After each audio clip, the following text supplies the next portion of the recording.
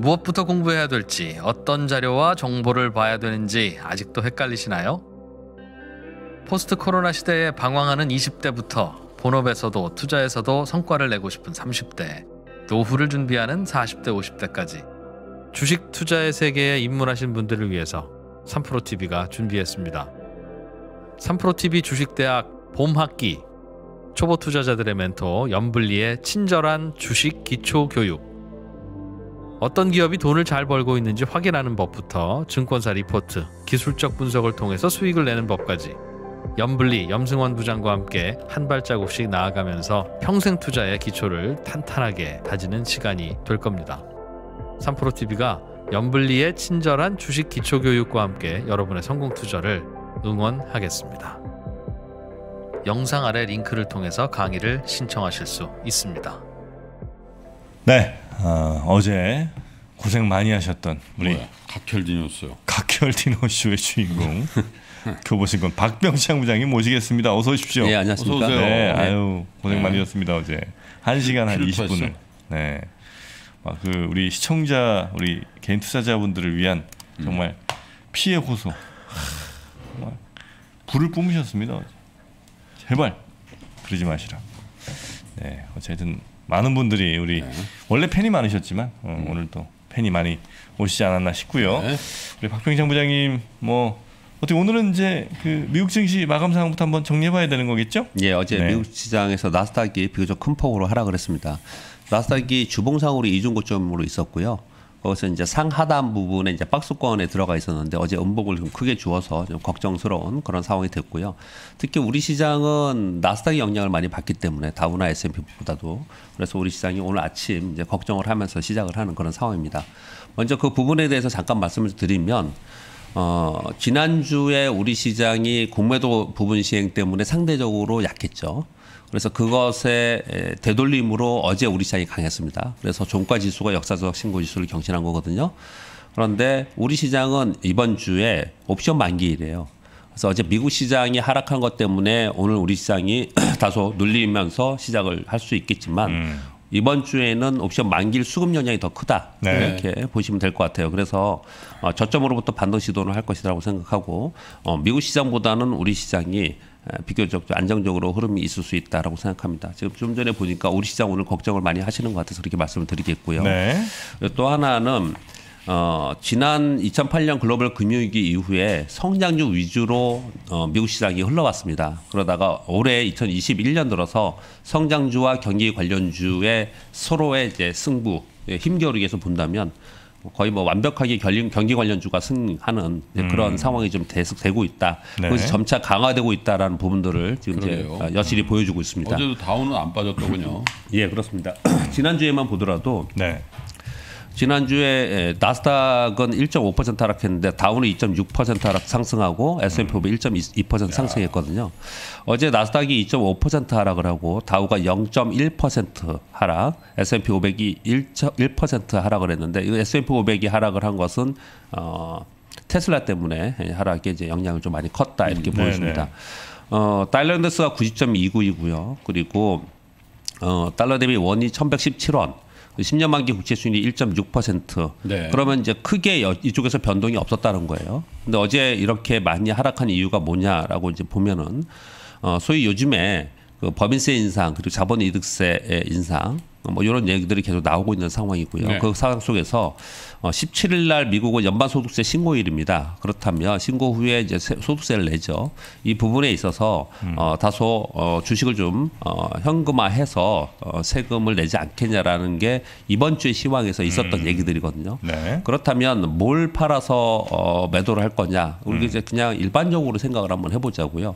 그렇다면 지금 올라오고 있는 종목을 팔 거냐? 네. 아니면 이제 거의 다 와서 좀 이제 주춤거리는 종목을 팔 거냐? 아니면 저 밑바닥에 있는 종목을 팔 거냐 보, 보기 때 네. 그 동안에 뭐 거의 10년간 올라왔던 성장주에서 이제 주춤거리고 있는 종목 위주로 좀 팔아야 되지 않겠냐? 아. 이런 얘기들이 올해 이번 주에 이제 시황에서 있었던 것이고요. 네. 것들. 예, 그러다 보니까 네. 어, 나스닥에 이제 매도가 좀 있었다 이런 얘기들이 전반적인 시황이고요. 음. 근데 그 이면에 두 가지가 있는데 하나는 좀 전에 뉴스함에서 소개 말씀드렸던 것처럼 어, 캐시우드의 그 ARKK인 네. 지금 어제 5% 하락을 했다고 합니다. 근데 여기 관련 된 종목들이 당연히 이제 매도가 나오겠죠. 그러다 음. 보니까 어, 지금 하락폭을 부추겼다라는 게 이제 두 번째의 이유가 될 것이고요.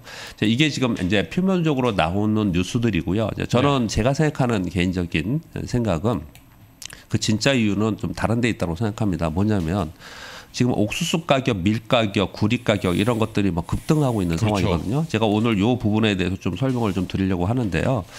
어, 지금 구리 가격은 작년 대비 거의 두 배 됐고요. 옥수수 가격도 작년 대비 두 배 정도 됐습니다. 올해만 50% 정도 올랐다고 합니다. 네. 어, 이, 이, 이 런 원자재들 상품 가격이 오르면 옥수수만 말씀을 드려보겠습니다. 옥수수 가격이 계속 오르면 옥수수를 원재료로 한 식품주들 있잖아요. 네. 이 식품주들이 가격이 오르겠죠. 그러겠죠. 그리고 어 우리 그 내연기관의 차, 차량에 휘발유에 에, 이 소위 그 이 그 식품 그, 그 채소나 옥수수나 이걸 가지고 만드는 어 대체유를 같이 섞어서 쓰- 쓰죠. 우리나라도 네, 그렇게 네. 돼 있죠. 네. 네, 그래서 옥수수로 한단 말입니다. 그렇다면 이제 거기도 이제 상승할 개연성이 있다. 뭐 이렇게 얘기를 하고 있는 거거든요. 그렇게 된다면 결국은 소비자 가격이 오르고 소비자 가격이 오른다는 얘기는 물가가 오른다는 얘기고 결국 인플레이션이 된다라는 거예요. 그 인플레이션이 되면은 이제 금리 상승이 예, 시중 금리가 오를 것이고 금리 상승이 될 것이라는 게 전반적으로 바탕에 깔려 있기 때문에 네. 성장주들이 오르 어, 이렇게 하락한다는 거죠. 즉 무슨 표현이냐면 지금 어, 국제 원자재 가격이나 시- 어, 또는 어, 원재료 가격이 오르는 부분이 이 성장주에는 마이너스 작용을 지금 하고 있다 이렇게 네. 좀 보여집니다. 이제 그러다 보니까 어제 미국 시장에서 IT와 커뮤니케이션 섹터에서 가장 많이 하락을 했는데요.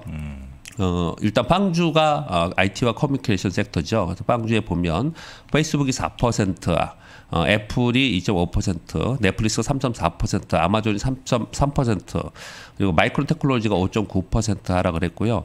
테슬라가 6.4% 하락을 했습니다. 그래서 전반적으로 어, 성장주 위주, tech 위주로 하락을 하면서 어, 나스닥을 좀 끌어내렸다. 이렇게 보시면 좀 될 것 같습니다. 네. 근데 이게 어제만의 일은 아니고요. 지난주에도 그랬고 올해 들어서 이런 현상이 계속 나타나고 있다라는 거죠. 그래서 고민이 많으실 거라고 생각합니다. 어, 이 지금 나스닥에 있는 성장주를 우리는 이제 사실 우리 소위 서- 서학감이라 개미라고 하면서 미국 주식을 샀던 분들은 거의 대부분 보면 이 그 밑에 있는 주식들을 잘 우리가 분석하고 자료가 없잖아요. 그러다 보니까 대표 종목 위주로 많이 샀단 말입니다. 근데 이 대표 종목들이 지금 하락을 하고 있는 것이기 때문에 어, 이제 걱정이 많으실 거로 생각하고 이들을 이제 어떻게 판단을 해야 될지에 대해서 이제 고민을 좀할 시기가 됐고 네. 그리고 사실 지금 늦지 않았냐라고 판단을 하실지 모르겠지만은 올해 이런 분위기 좀 더 갈 수 있다라고 지금 다들 좀 분석을 하고 있기 때문에 그 부분에 대해서 좀 각자들 좀 생각을 좀 하셔야 되는 상황이다 이렇게 좀 네. 보여집니다. 제가 오늘 뉴스 몇 가지를 말씀을 드리려고 하는데 오늘 그 미국 시장에 대해서 다소 좀 우려되는 뉴스들이 좀 나와서 네. 그 시장에 대해서 말씀을 좀 드려보도록 네. 하겠습니다. 세 가지 관점에서 말씀을 드릴 건데요. 지난번에 패드에서 금융안전 보고서 반기 보고서가 나왔습니다. 어, 뉴스들 뭐 많은 분들이 하셨겠지만 제 제 의견을 이제 덧붙여서 말씀을 드리겠습니다. 네. 그동안 자산 가격이 큰 폭으로 올라서 심각한 하락 가능성이 높아졌다. 이렇게 발표를 했습니다. 대부분의 자산 가격이 동반 상승하고 있기 때문에 금융 시스템 위험이 높아지고 있다라고 얘기를 합니다. 낮은 금리가 정당하고 있지만 금리 인상이 되는 순간이 오든지 또는 위험자산 선호 심리에 훼손이 될 경우에 이건 위험해질 것이다. 현재는 여전히 안정적이지만 미래의 위험은 높아졌다. 그러면서 어디 어디를 얘기를 했냐면 회사채 암호화폐 스펙 IPO 쏠림 현상이 나타나는 것이 우려가 된다.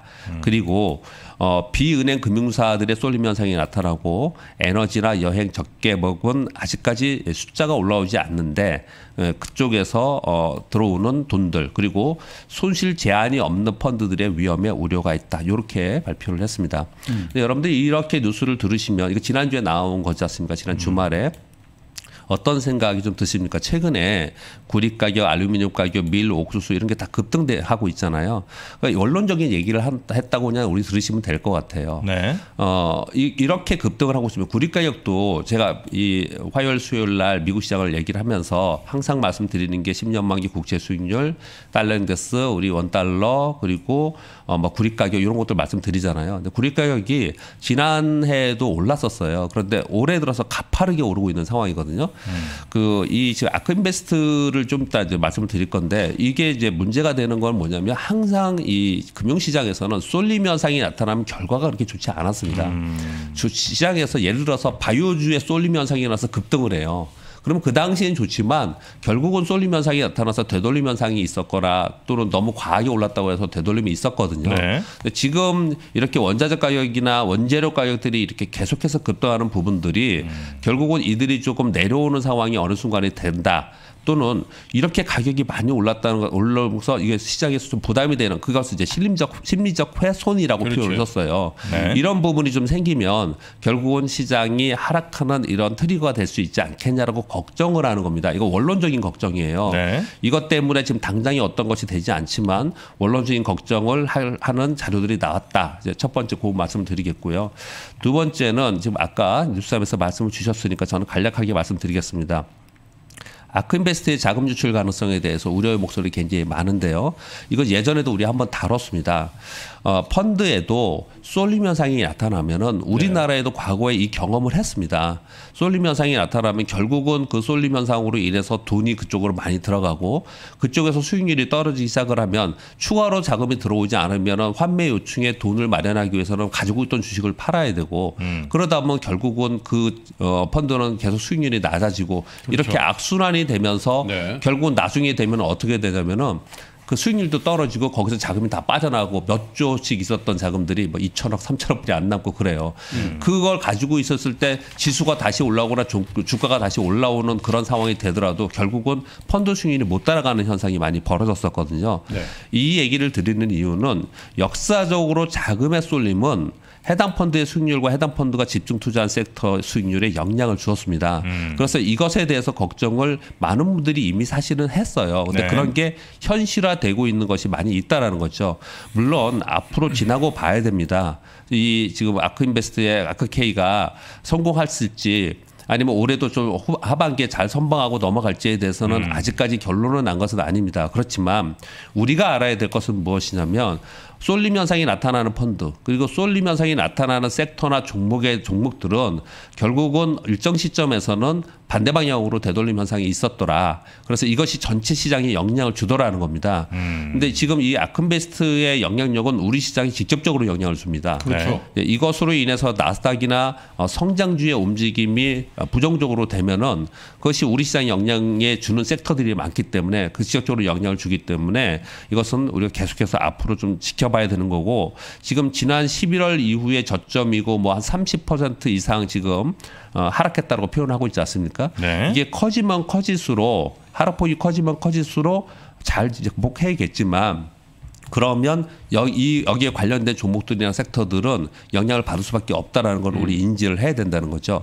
그러면 이렇게 생각을 해보면 이 역시도 나스닥에는 부정적인 뉴스잖아요. 그렇죠. 이거보다는 다우나 S&P 500이 더 좋은 거지 않습니까? 그러니 그쪽에 자금이 더 한쪽으로 또 가는 그런 현상이 예, 자금이 이동이 생기는 그런 현상이 나타날 수밖에 없다라는 거죠. 네, 네, 네. 그리고 하나 더 말씀을 좀 드리겠습니다. 옐런 장관이 지난주에 경제 과열을 막기 위해서 금리 인상 고려할 수도 이런 얘기를 했습니다. 네. 어, 원론적인 얘기이다라고 하면서 해명을 곧바로 했습니다. 그러나 이건 차분차분히 한번 말씀을 좀 드려볼게요.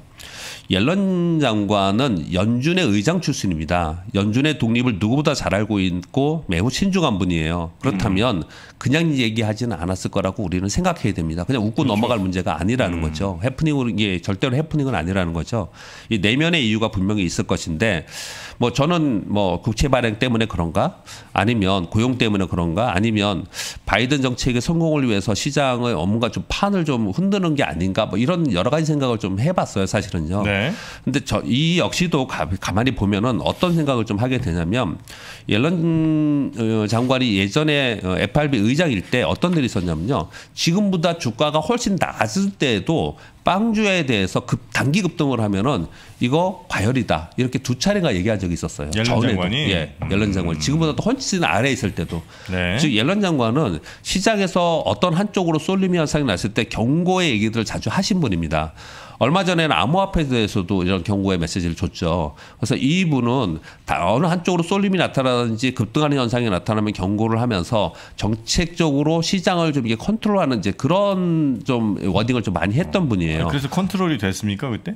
예를 들면 실제로 그때 좀 주- 빠졌었죠. 아, 그래요? 네, 실제로 음. 빠졌다가 다시 올라오고 다시. 빠졌다 올라오고 계속 그랬습니다. 두 차례 제 기억으로는 장관 음. 의장 있을 때 두 차례 그런 일이 있었거든요. 실제로 나스닥이 빠졌다가 다시 올라오고 그랬습니다. 네. 근데 이런 이제 wording이 한 바가 있다라는 것들 역사적으로 우리가 이제 경험하기 때문에 참고를 해야 될 것 같고요.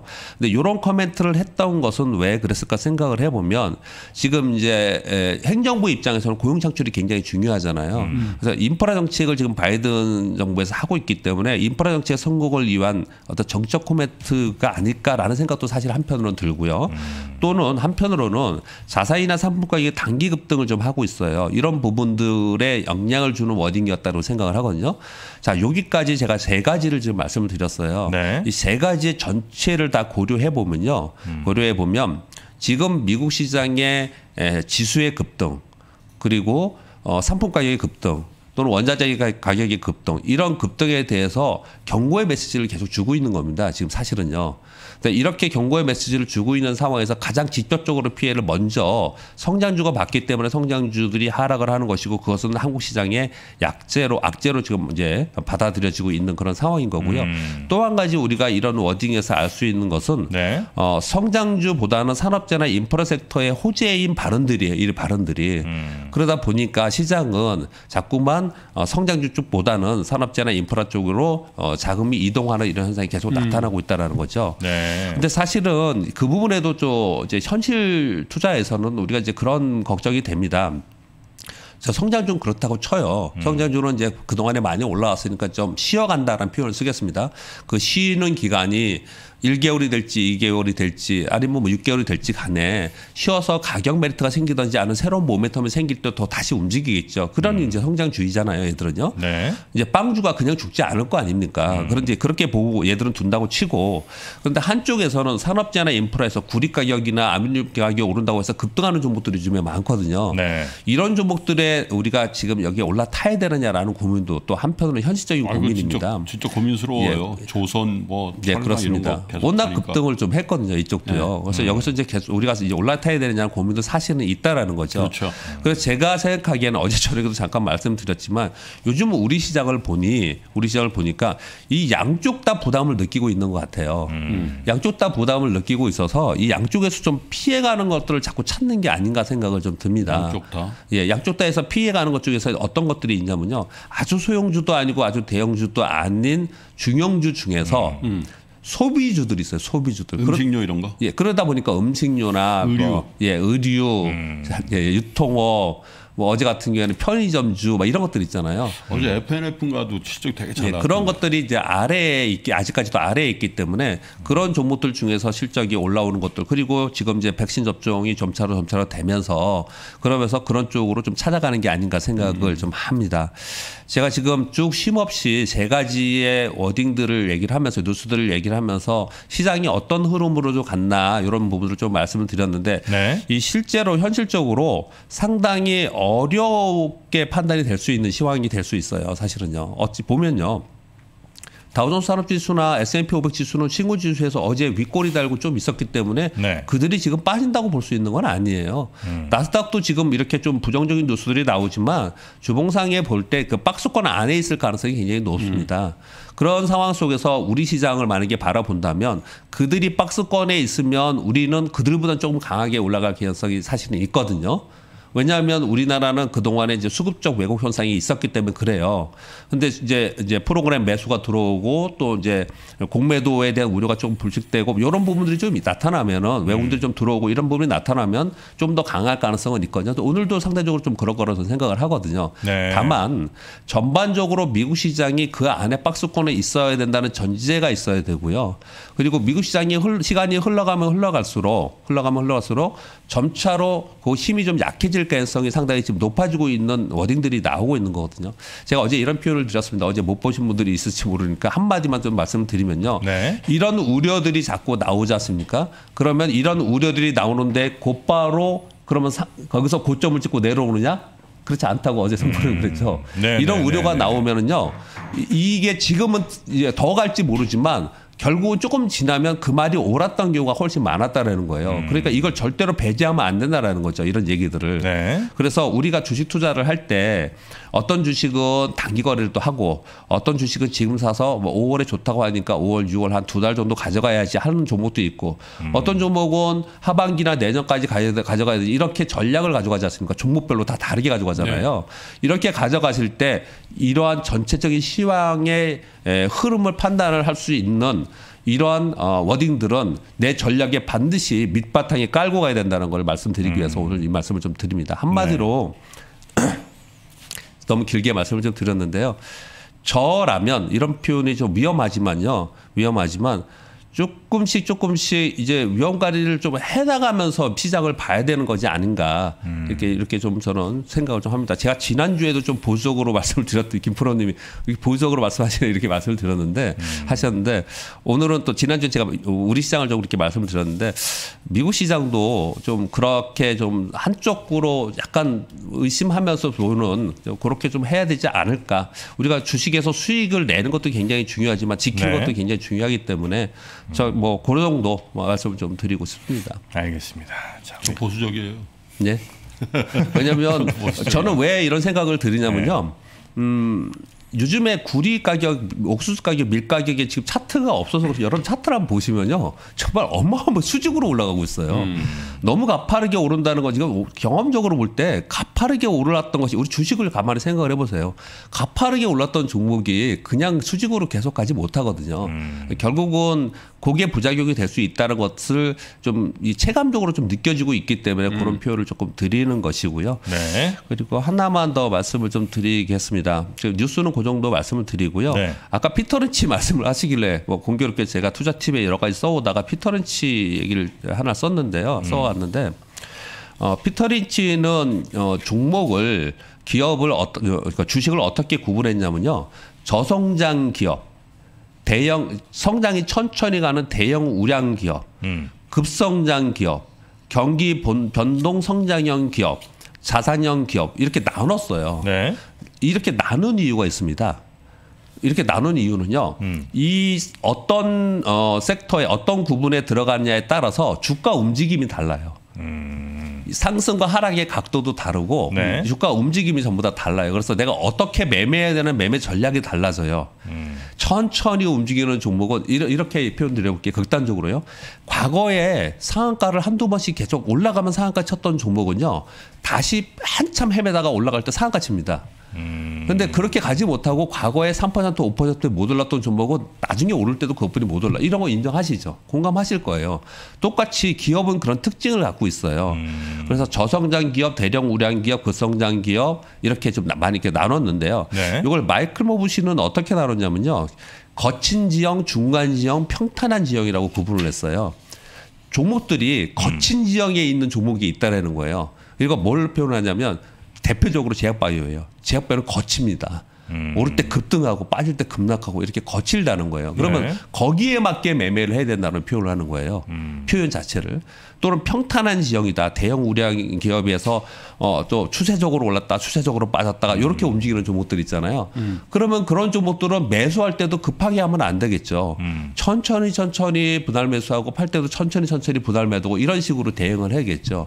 그래서 그 내가 속, 그, 그 투자하는 주식이 어떤 성향을 갖느냐에 따라서 어, 매매 전략과 매매 기법이나 뭐 네네네. 투자 포인트가 굉장히 달라지거든요. 무조건 분할 매수만 할 건 아니군요. 예, 그래서 네. 그렇게 실제로 이 피터런치 이분의 책을 보면은 그렇게 하라고 써 있습니다. 그렇게 이제, 이제, 이제 제안을 해 하거든요. 음. 제가 요 시점에 왜 이런 표현을 드리냐면요. 과거에 우리는 성장주 위주로 많이 거래를 했어요. 지금도 성장주를 갖고 계시고 우리가 거래를 많이 하고 있습니다. 그런데 이게 지금 경기 민감주로 변화 지금 되고 있지 않습니까? 그리고 음. 소비주로 많이 변화가 되고 있잖아요. 이 성장주하고 경기 민감주하고 소비주하고는 전부 다이 이 성향들이 달라요.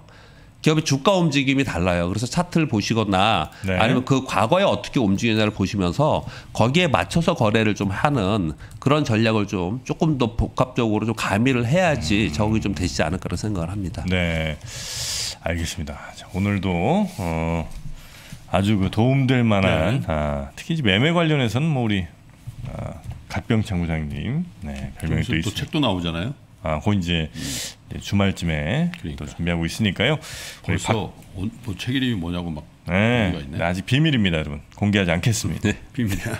신비주의야. 네, 저희가 금요일에 공개하겠습니다. 자, 오늘 함께 해 주신 어, 교보증권의 박병창 부장님 대단히 고맙습니다. 예, 감사합니다. 네, 감사합니다. 이제 저희는 메르츠 위크 본격적으로 시작하도록 하겠습니다. 매달 월급처럼 따박따박 배당을 받는 ETF 그리고 1년 사이에 10배가 오른 테슬라 미국 시장에 상장을 준비하는 쿠팡까지 소식은 많이 들리지만 미국 주식 투자를 시작하기에 아직은 어색하신가요? 포스트 코로나 시대에 방황하는 20대부터 본업에서도 투자에서도 성과를 내고 싶은 30대 노후를 준비하는 40대 50대까지 미국 주식의 세계에 입문하신 분들을 위해서 3프로TV가 준비했습니다. 3프로TV 주식대학 봄학기 미국 주식에 미치다 장우석과 이항영의 미국 주식 완전 정복 미국 시장의 제도, 특징, 세금부터 기업의 가치 분석, 포트폴리오 유망 종목까지 장우석 본부장, 이항영 대표와 함께 한 발자국씩 나아가면서 평생 투자의 기초를 탄탄하게 다지는 시간이 될 겁니다. 3프로TV가 미주미 미국 주식 완전 정보 클래스와 함께 여러분의 성공 투자를 응원합니다. 영상 아래 링크를 통해서 강의를 신청하실 수 있습니다.